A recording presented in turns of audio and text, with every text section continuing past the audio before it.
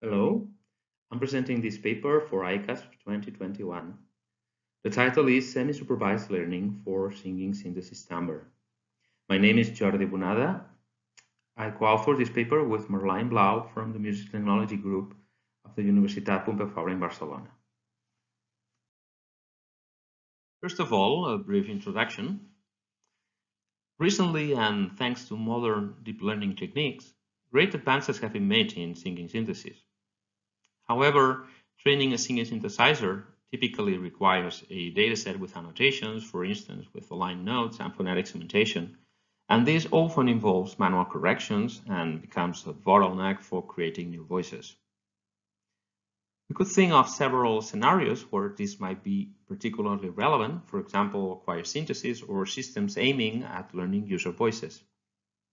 In this work, we propose a model for singing timbre that is trained in a semi-supervised manner. In the first step, we train only once a part of the model using an annotator multi-speaker dataset. But the key point here is that later we can train the model for new voices directly from audio data without any additional annotations. And finally, we can generate synthetic singing of these new voices out of F0 and linguistic control features. The system we propose is an autoencoder with a linguistic and an acoustic encoder. The decoder randomly selects the hidden representation of one of the encoders and produces the target acoustic features. Our system has two objectives. One is to reconstruct the target acoustic features, and the other is to favor encoders producing similar embeddings when fed with linguistic and acoustic data from the same performance. In our system, uh, we only train once the encoders using an annotated multi-speaker dataset.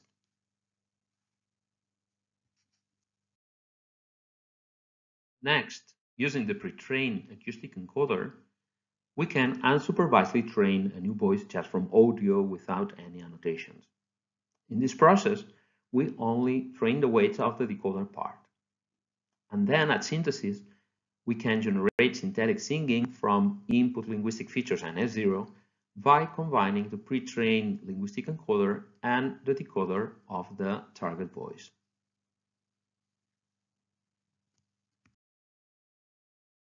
Both acoustic and linguistic encoders are non-causal wavenet architectures and use the same hyperparameters. They take as input mel spectrogram and one-hot encoded phonetic sequences and focus on rather short scale variations using a receptive field of about 300 milliseconds with the idea to capture variations which are close to a phoneme level. Then, for favoring similar embeddings from both encoders, we randomly switch between them during training and also minimize the loss between both embeddings. We also add normal noise to the encoder output after the nonlinearity, and we do so with the aim that the encoder should not encode details of the mel spectrum and also to favor more stable embedding along phonemes.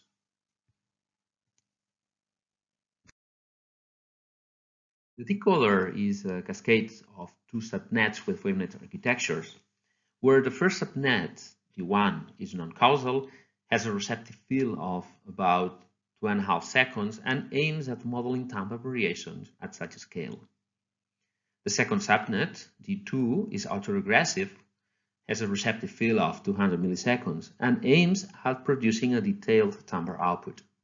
Both subnets, D1 and D2, are conditioned on F0 and speaker embedding.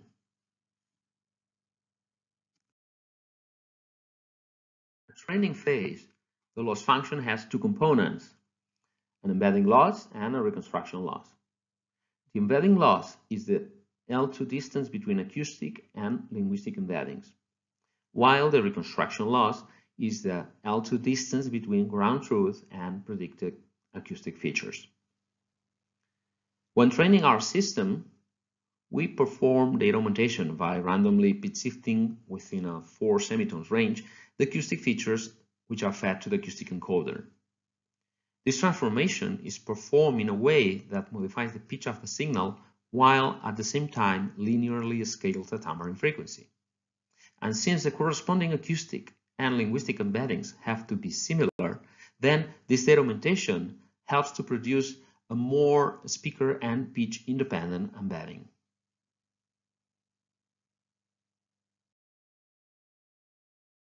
For the experiments in this work, we use two proprietary datasets.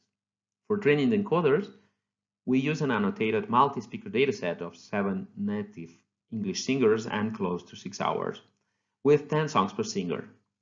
The audio files here were phonetically segmented with manual corrections. Next, for training the decoders, we use a target dataset of 41 pop songs performed by a professional English male singer.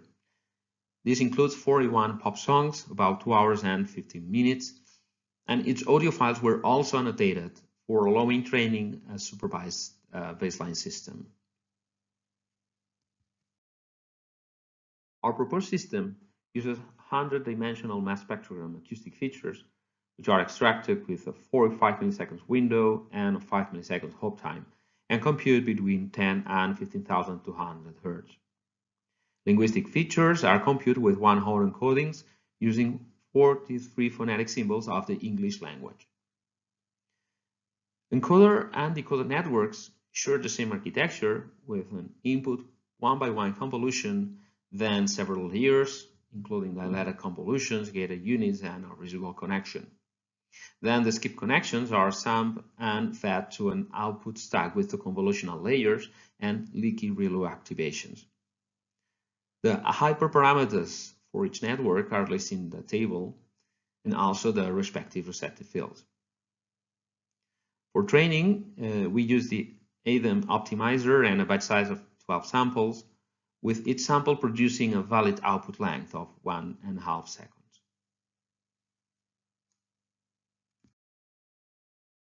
We have evaluated our proposed semi-supervised system by comparing it to a similar supervised model.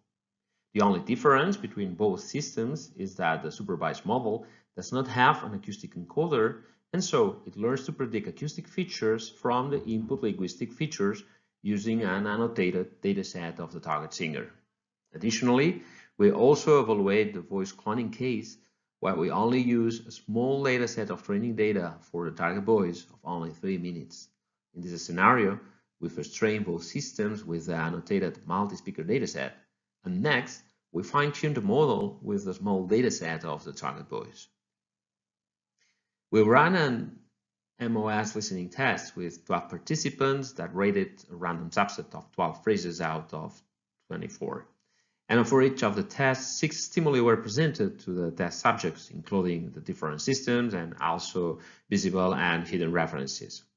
Some examples uh, used in the test are available online. The results are shown in this table. We can see that the semi-supervised and the supervised systems perform similarly without a very significant difference. And both systems outperform the cloning approaches probably due to the small amount of target data available for those. To conclude, in this work, we have proposed a semi-supervised method for learning a new voice timbre model from a singing dataset without any annotations. According to our evaluation results, our proposed system performs similarly when compared to an equivalent supervised system using manually corrected annotations. Also, we show that our system performs acceptably in low resource scenarios where we only have access to a small amount of audio material. The results show that we can effectively reduce the effort to learn a new voice, and this could be very useful in the context of choir singing, allowing to model many singers without the dataset and notation burden. Finally, some informal experiments show that our approach performed promisingly in voice conversion and cross-lingual synthesis scenarios. Thanks for your attention.